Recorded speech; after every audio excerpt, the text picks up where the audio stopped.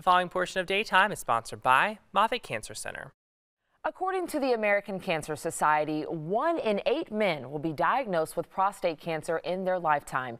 Each man's risk can vary, and joining us to share his expertise on screenings and treatment options is Dr. Kosj Yamoah, chair of the Department of Radiation Oncology at Moffitt Cancer Center. Thank you so much for being here. How are you? Thank you for having me. It's great. Yeah, this is such an important topic. I want to know first off, at what age should men start prostate cancer screenings? So most of the guidelines will say, you know, between 45 years all the way to 75 years old, you should at least uh, start screening with your PSA, which is a blood test, the prostate um, specific antigen, and which just allows us to know if there's something wrong with the prostate. Of course, there's several things that can cause that, but that's really the range. For certain groups, it's actually earlier. Okay, and speaking of maybe for earlier groups, why is it that African American men tend to be more prone to prostate cancer?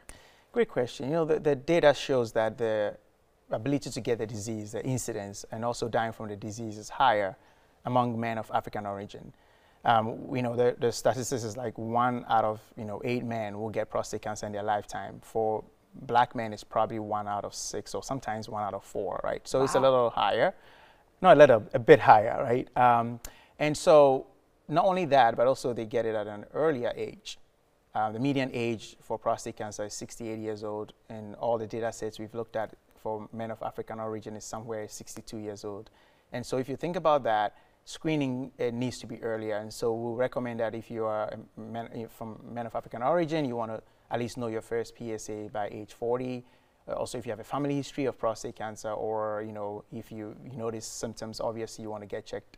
And if there's any you know risk, uh, genetic risk that you're aware of, um, you should get checked as well. Okay, and you mentioned something that I also have in my notes. If someone has been told they have a high level of PSA, yes. what exactly does that mean, and what should right. they do? Right. So the PSA is sometimes, you know, it's just a blood test. Uh, it's it's known as the prostate uh, specific antigen. It's just something that a prostate gland produces.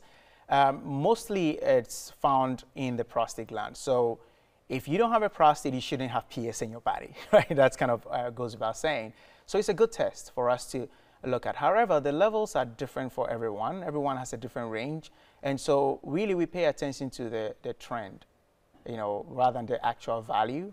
Normal PSA levels are anywhere from zero to four. That's kind of the normal range. But every age group has a different range. And so really getting that baseline level is important. So you know where your PSA sits. So if it changes, you know what to do.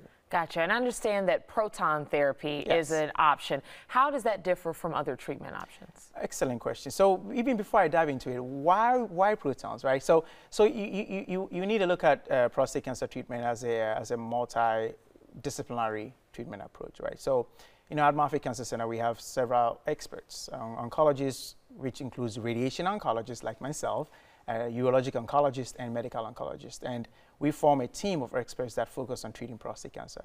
And we like to tailor the treatments to the needs of the patient. So proton therapy is one kind of treatment, right, that allows you to treat prostate cancer effectively amongst other types of cancers.